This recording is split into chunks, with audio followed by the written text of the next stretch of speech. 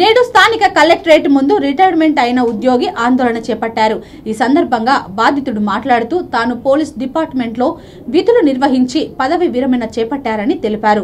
పదవి విరమణ చేపట్టిన నాటి నుండి తనకు ఎటువంటి పెన్షన్ మరియు రిటైర్మెంట్ బెనిఫిట్స్ ఏవీ రాలేదని ఇలా సుమారు వంద మంది దాకా ఉన్నారని తెలిపారు. ఇప్పటికైనా ప్రభుత్వం స్పందించి తమకు న్యాయం చేయాలని ప్రభుత్వాన్ని కోరారు. నేను పంతొమ్మిది వందల ఎనభై రెండులో కర్నూలు జిల్లా పోలీస్ శాఖలో సాయుధ రిజర్వ్ పోలీస్ శాఖలో చేరి తర్వాత రెండు వేల మూడులో రెండు వేల ఐదులో మళ్ళీ నేను లా అండ్ ఆర్డర్ పోలీసుకు ట్రాన్స్ఫర్ అయ్యి నలభై సంవత్సరాల సర్వీస్ పూర్తి చేసుకుని అతి కష్టమైన సర్వీసు రిటైర్డ్ అయినాను సార్.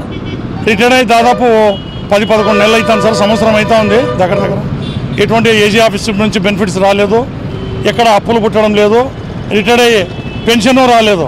సో బెనిఫిట్స్ రాలేదు పెన్షన్ రాలేదు బయట అప్పులు పుట్టడం లేదు మేము డబ్బు సైన ఆశతో బయట చేసుకునే అప్పులకు వడ్డీలు కట్టుకోలేక అప్పులలో వచ్చి ఇంటికాడ కూర్చున్నారు. ఆడపిల్లలకు పెళ్ళిళ్ళు చేసుకోలేక గందరగోళమైన పరిస్థితిలో ఏం చేయాలనో దిక్కుదోసిన పరిస్థితిలో ఉన్నాను సార్. న్యాయం చేయాలని అందరికీ బటన్ నొత్తి బటన్ నొత్తి శాంక్షన్ చేస్తారు సార్. సీఎం గారు మహానుభావులు సంతోషము. మా రిటైర్డ్ అయిన ఎంప్లాయీస్ పెన్షన్ బటన్ ఒకటి క్రియేట్ చేసి అది కూడా ఒత్తాలని నా విన్నపం సార్? ఎందుకు రావడం లేదనేది నాకు తెలియదు సార్. అది రాష్ట్రం లెవెల్లో నాయకులు కానీ రాష్ట్ర అధికారులు కానీ జిల్లాధికారులు రాసి పంపించినామంటున్నారు సార్. హైదరాబాద్ అమరావతికి. అక్కడ రావాలా అక్కడ పెండింగ్ ఉన్నాయంటున్నారు. మరి రాష్ట్రంలో బడ్జెట్ లేదు ఏజీ ఆఫీసులో మనుషులు లేరు నాకు తెలియదు సార్. ఎంతమందికి రావాలనేది అమరావతి వాళ్ళ ఆఫీసులోనే ఉంటుంది సార్.